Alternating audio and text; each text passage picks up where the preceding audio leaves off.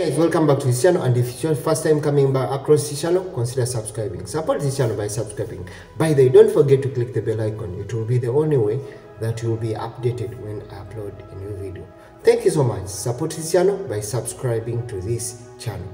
We are still looking at the new uae travel guidelines as of january 2022 remember a new set of guidelines traveling to and from, transiting to and from Dubai were put in place, or in UAE were put in place as uh, 29 January uh, 2022. And this a new set of the guidelines, the travel guidelines to, to Dubai that we were put in place, uh, features or compasses a lot uh, different groups of people in their different categories. We see uh, people transiting or people coming from UK, a different set of rules. We see people transiting through Dubai, a different set of things. So in today's video, we are going to see which other groups are exempted from taking what we call a COVID-19 PCR test.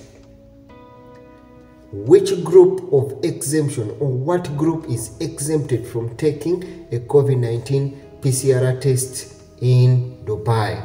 Remember, the following people are exempted from getting a COVID 19 test at the departure airport. Remember, this group of people will only undergo a COVID 19 PCR test on arrival in Dubai. Remember, we talked about the groups of um, the mandatory groups that should take the PCR test on arrival to Dubai.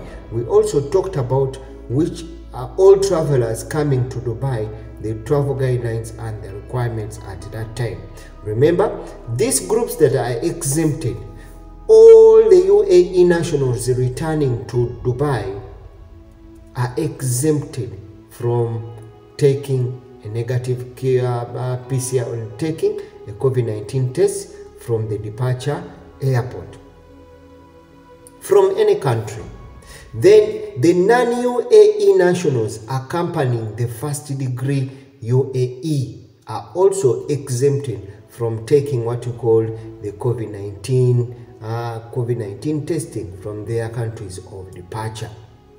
Now, three, we look at domestic workers accompanying a UAE national sponsor is also exempted that domestic worker is also exempted from taking what we call a COVID-19 PCR testing from their country or from their airport of departure. We also look at uh, another one, children below 12 years of age. Children 12 years of age by the Ministry of Public Health uh, are not allow, are not supposed to take uh, a COVID-19 PCR test uh, from arrival from their country of departure. In number number four, then we also look at passengers with what we call the moderate, the moderate to severe disabilities. Also, this kind of prayers or this kind of people are not required to take a negative PCR test from the airport of departure. Hope I've tried to share something for you and hope I've tried to share something. Thank you so much for coming back to this channel and thank you so much for subscribing to this channel. By the way, don't forget to click the bell icon. It will only be the only way that you updated when I upload a new video.